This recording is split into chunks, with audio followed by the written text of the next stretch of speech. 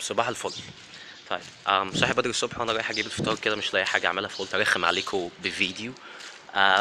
كلمة uh, شهور لما بتتجمع في ال English بتحصل في المقابلة كتير قوي في ال interviews وشفت ناس ما بتعديش interviews رغم بتبقى شباب جميل جدا وبتتكلم English كويس جدا لكن بيغلط في الكلمة دي فما بيعديش. لانها كلمه وقعها تقيل قوي لو نطقتها غلط في ال English. طيب الكلمة دي TH بتحصل ورا ال S في ال English لأنها المفروض تبقى months الناس بتقولها months okay؟ أنا عارف إن TH بالناس للناس اللي لسه بتتكلم English ورا ال S على طول هتبقى تقيلة قوي على اللسان لأنها مش موجودة في العربي.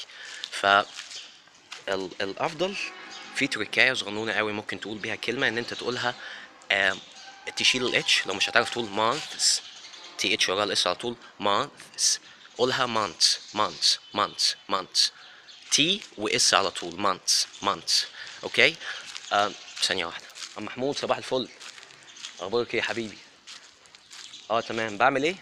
دي القناة التانية بتصور. آه هو ماله أنا بعمل إيه؟ ما علينا. ف آه، التركاية بس كده.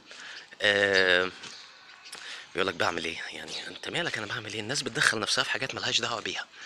آم، ف enjoy the tip آه وافتكروا دايما إن أنتوا في interview لما حد يسألك يقول لك اشتغلت في الحته الفلانيه كام شهر مش عارف إيه months months اوعى تقولها months okay طيب that's all for today. Thank you. يلا bye